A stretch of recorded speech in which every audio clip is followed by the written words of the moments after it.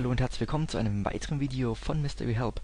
Heute mit einem weiteren kleinen Photoshop-Tutorial und zwar möchte ich euch heute zeigen, wie man selbstgeschossene Bilder, die so eine leichte Unschärfe noch drin haben, auch noch nachträglich schärfen kann.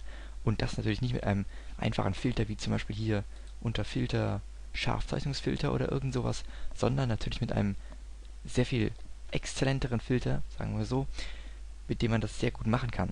Und ja, kleiner Vorher-Nachher-Effekt kann man hier ganz gut demonstrieren an diesem Baum hier. Der hat, ich zoome mal gerade heran, hat leichte Unschärfen drinne und die kann man, also wirklich sehr leicht, wenn ihr sie nicht seht, auch kein Problem, werdet ihr dann beim Nachmachen sehen können. Diese Unschärfen können wir eben hier entfernen. Hier habe ich eben eine Ebene erstellt und die blende ich gerade mal ein.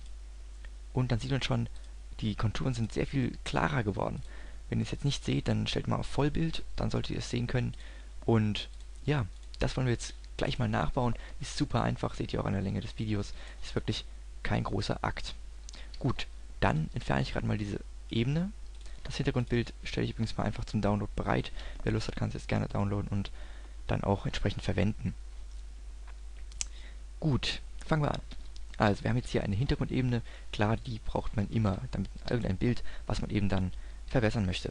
Dann drücken wir einmal STRG J und dadurch wird eben diese Ebene dupliziert und wir haben zwei Ebenen, die eigentlich erstmal das gleiche beinhalten.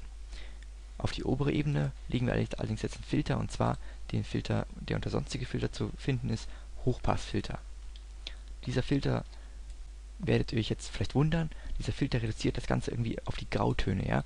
Und zwar gibt es hier unterschiedliche Radien, die wir auswählen können. Je größer der Radius ist, desto mehr Farben sehen wir dann auch. Aber wir wollen die Farben überhaupt nicht sehen. Wir wollen das wirklich auf das Graue reduzieren, also auf helleres Grau und dunkles Grau vielleicht so ungefähr, eben diese Konturen.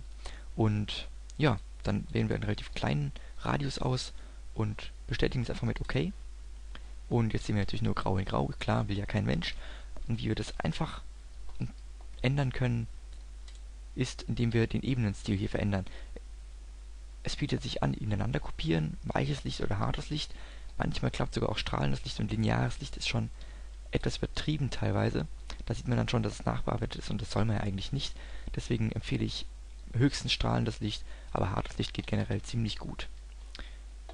Und dann können wir nochmal an dem Baum gucken, wie es jetzt aussieht. Und tatsächlich ist es auch hier wieder, hat es einen sehr schönen Effekt. Vor allem im rausgezoomten sieht man dann, ich weiß nicht, ob ihr es seht, aber ich sehe es hier auf jeden Fall, werdet ihr dann, wie gesagt, auch wieder sehen, hat es einen Effekt, der ist eigentlich unscheinbar, wenn man eben nicht den direkten Vergleich hat, aber verbessert das Bild wirklich um einiges. Gut, dann soweit zu dem Tutorial. Ich hoffe, es hat euch gefallen und ich konnte euch damit helfen. Wenn ja, wisst ihr, was zu tun ist, bewerten, kommentieren und so weiter, würde ich mich darüber freuen. Ansonsten klickt einfach weiter und wir sehen uns beim nächsten Video. Ciao, bis dahin, euer Mystery Help.